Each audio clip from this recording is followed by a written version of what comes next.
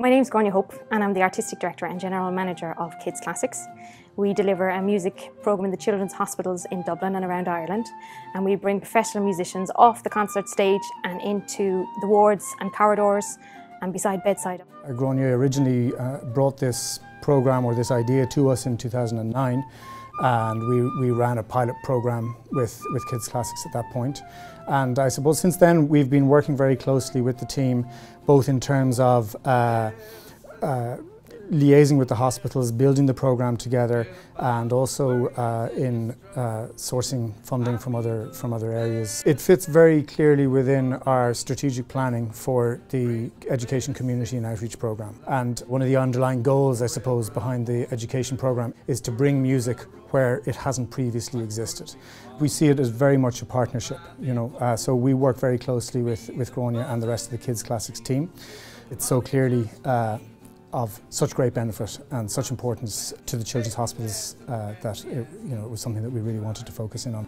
Often some of our musical interactions will start by some music just being placed on the corridor. And that is kind of like our open invitation and a head might come out of a room or someone pop up what's going on here and in a way that kind of opens up a conversation or an opportunity rather than us just going onto a ward and just starting music.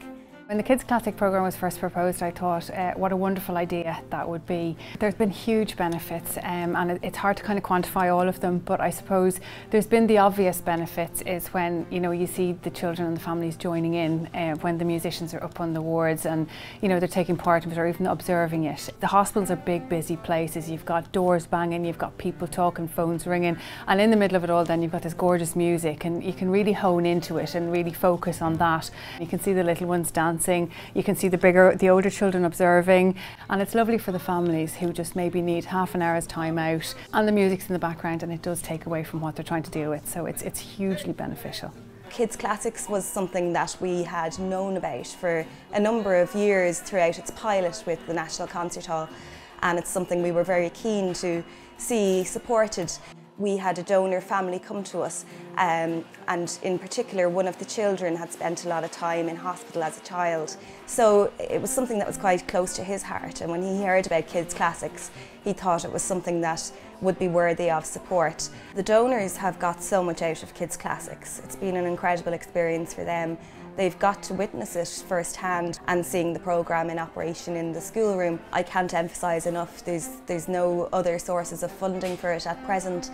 It's a programme that should be in place um, and should be available to every child, but the funding will not be there unless we have donors coming forward. Music in healthcare is a new growing area. In, both in the children's hospital where we work and also in general hospitals. My vision would probably be to see a, a music programme embedded in the very core of a hospital.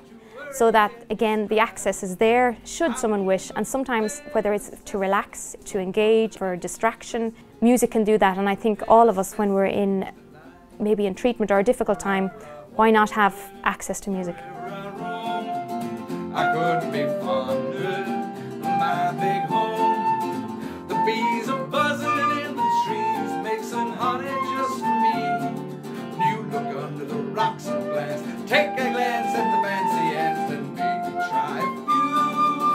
bare necessities of life will come